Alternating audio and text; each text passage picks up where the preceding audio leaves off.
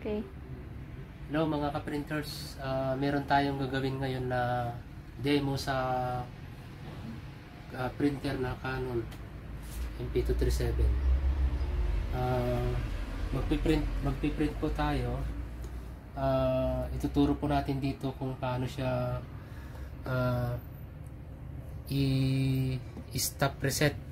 Ito po yung pangkaraniwan na laging demand ng mga may printer na Canon na model. Ah, mapa MP145, 198, 258 287 ito yung mga model 237 ah, 2870 2770 yan basta yung mga model lang po yun na yan yung nandyan.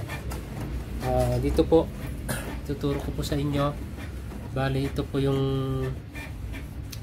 ah, cartridge na nababasa niya dalawa blocks ay black saka color. Ngayon po magpiprint ako ah, tapos bumababa na po yung level niya. Ah, magre-reset po siya actually. Pero sinasabi niya dyan na wala ng ink. Pero dito po sa sa tank po niya puno po siya. Ito po yung continuous ink flow niya. Yan so nakikita po dito nagwa-warning po siya na ibig sabihin wala ng ink. Doon sa cartridge paubos na. Yan. So actually hindi po yun ubos. Dahil naka-continuous ink flow po siya. So titingnan po natin. Maya maya lang mag ah, sasabihin niya ink has run out. Yan. Turo po natin dyan.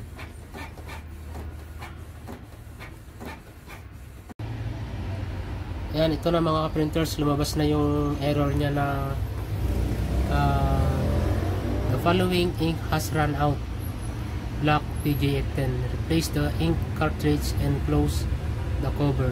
If printing is in progress and you want to continue printing, press the printer's stop reset button. So yun nga, tinuturo niya po ito. Ito.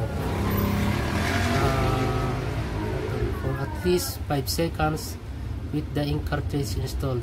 Then printing can continue under the ink out condition. The function for detecting the remaining ink level will be disabled. Replace the empty ink cartridge immediately. After the printing, the resulting print quality is not satisfactory.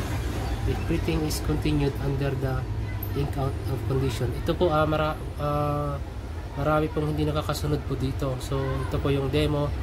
Ganito lang po yung gawin nyo. Pag ink has run out po yung error, ito lang po yung gagawin nyo. So yan, nagbiblink po siya. Ah, long press nyo lang po ito ng mga seconds lang po. 1, 2, 3, 4, 5. Yan, mga 5 seconds. Yan. Uh, testing yan nawala na po siya so wala na po yung ano correction dyan. So yan nag-print print na po siya.